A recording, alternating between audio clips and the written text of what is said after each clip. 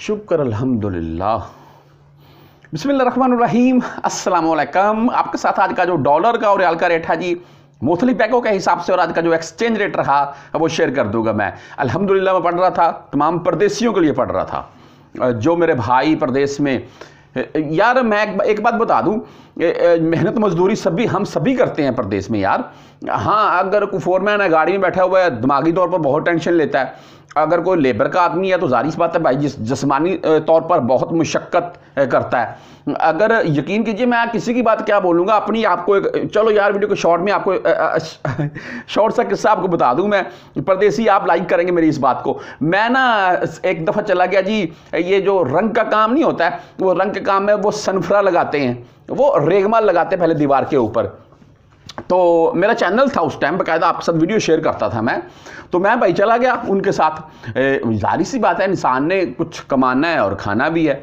अच्छा मैंने बोला, चलो, कुछ दो चार दिन यार इनके साथ काम कर ले, करके देख लेते हैं। मैं चला गया और मैंने सनफरा लगाया और तीन दिन लगाया। जी, तीन दिन के मुझे उन लोगों ने शायद तीन सौ तीस ये चार दिन लगाए चार सौ चालीस ऐसे दिए बस। और आ, मैं बीमार हो गया जी वो सनफरे की वजह से। और यकीन कीजिए कि सात दिन बीमार रहा और तकरीबन पाँच छः सौ रियाल अपने ऊपर लगाया। यानी कि वो चार सौ कमाया दो सौ रियाल पॉकेट में से डालकर अपनी सेहत के ऊपर लगाया। परदेसी भाई ऐसे पैसा कमाते हैं प्रदेश में। यानी कि मैं तो चलो बीमार हो गया कभी काम किया नहीं था ना वो। जो भाई करते हैं वो सारा दिन वो रंग वाले भी सारा दिन। प्रदेश में भाई, ऐसे पैसा नहीं कमाया जाता है। ये बात सिर्फ़ बताने का मकसद यह था कि जो मेरे प्रदेशी भाई हैं, वो बहुत मशक्क़त से पैसा कमाते हैं। और अगर मिसाल के तौर पर एक बंदे ने मशक्क़त, मेहनत से अपना पाँच हज़ार रियाल बचाया हुआ है तो अभी भेज रहा है तो उसको भाई वो पाँच हज़ार के मिसाल के तौर पर चार लाख पाकिस्तान में मिल रहे हैं। अगर वही दस दिन के बाद या रेट बेहतर हो जाए तो उसका पाँच हज़ार रियाल का चार लाख पच्चीस हो जाए। उसको पच्चीस हज़ार का फ़ायदा हो जाए तो भाई वो खुश तो होगा ही ना। अल्हम्दुलिल्लाह तो पढ़ेगा ही ना। मैंने भी इसलिए अल्हम्दुलिल्लाह पढ़ी। माजरत खुआऊँ वीडियो थोड़ी लंबी होगी चलो। बहरहाल जी आज आपको डॉलर रेट पहले बता दूँ मैं। आज डॉलर रेट में बेहतरी देखने को मिली और वो रेट है जी आपके सामने आपको दिख, दिखाई दे रहा है। तकरीबन एक महीने के बाद आज डॉलर में बेहतरी आई है। हमें भाई डॉलर से कोई सरोकार नहीं है। हमें तो रियाल से है। लेकिन आपको रेट सिर्फ़ बताता हूँ मैं डॉलर का शॉर्ट सा। दो रुपये प्लस में आज डॉलर गया। कल की नस्बत, तकरीबन बीस, पच्चीस, तीस पैसे आज डॉलर महँगा हुआ। और ये जैसा कि आपको बता रहा हूँ मैं, तकरीबन तकरीबन एक महीने के बाद ऐसा हुआ है। बहरहाल जी, अगर हम रिया रेट की बात कर लें तो आपको एक्सचेंज रेट जो है जी, पहले वो दिखा दूँ मैं।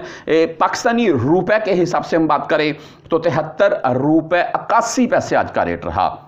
रिया रेट कम है, लेकिन आज अगर डॉलर बेहतर हुआ है ना तो इसका असर रियाल के ऊपर कल होगा भाई। ये भी आपको क्लियर कर दूँ मैं।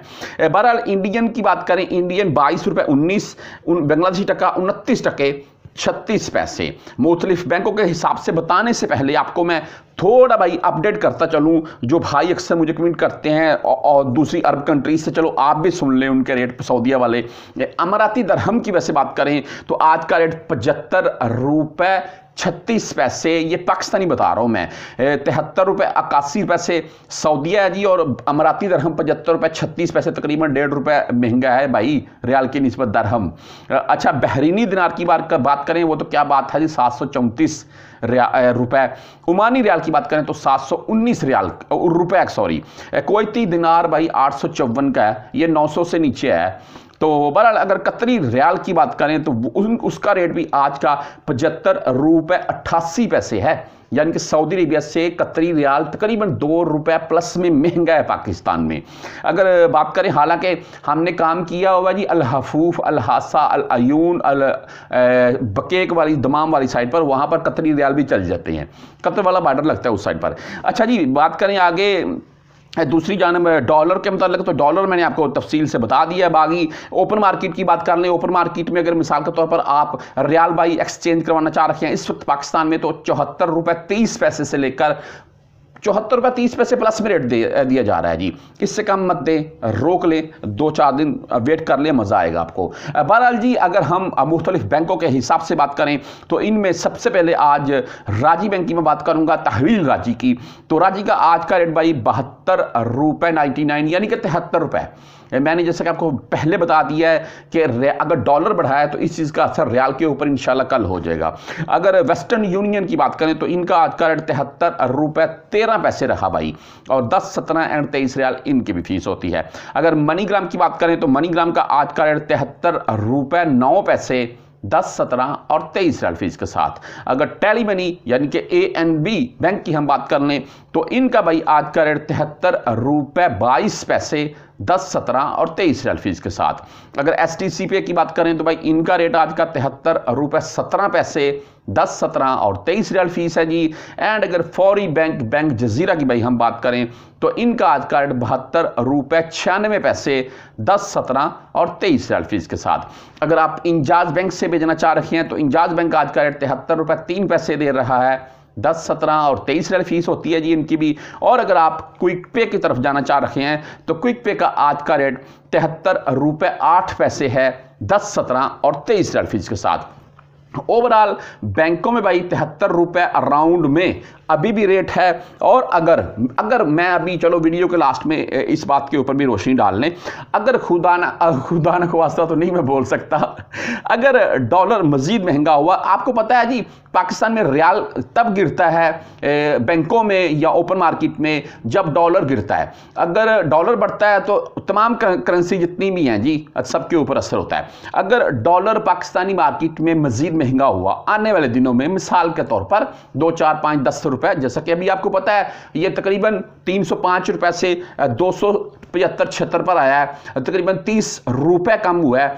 इसी हिसाब से अगर डॉलर डॉलर में इजाफा होता है तो रियाल के ऊपर डेफिनेटली बात है, इजाफा होगा। और दूसरी तरफ़ तमाम वो मेरे परदेसी भाई जो ये सोच रखे हैं जी कि मिसाल के तौर पर कि हम भाई, मैंने रियाल भेज दूँ, अभी रेट ठीक है यार, मज़ीद नीचे ना आ जाए। जैसा कि अक्सर भाई मुझे भी कमेंट करके बोलते हैं कि भाई तिरसठ पर आ जाएगा, पैंसठ पर आ जाएगा, ये हो जाएगा, वो हो जाएगा, कुछ तो बोलते हैं, तिरपन पर चला जाएगा, पचास और तीन तिरपन। यकीन कीजिए, लेकिन ऐसा नहीं होगा। ये मेरा मानना है जी, ऐसा नहीं होगा। इतना नीचे नहीं जाएगा।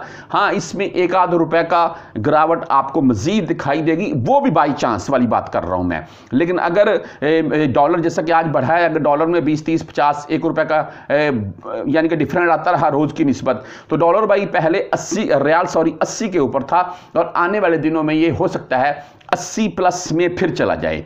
बहरहाल, इसके मतलब आने वाले चंद दिनों के बाद हम देख लेंगे। जो भी रिपोर्ट आएगी। आप भाइयों से मेरी ये गुजारिश है जी, तमाम वो परदेसी भाई जिनके घर में ज़रूरियात है, वो भेजें, कोई मुश्किल नहीं है, रेट ये कम रेट नहीं है यार अभी भी। छिहत्तर सॉरी चौहत्तर, तिहत्तर, चौहत्तर। और अगर आप मिसाल के तौर पर वहाँ पर रोक कर रखना चाहते हैं तो फिर भी आपकी मर्ज़ी है जी, आप अगर रोक कर रखेंगे तो आपको डेफिनेटली बात है।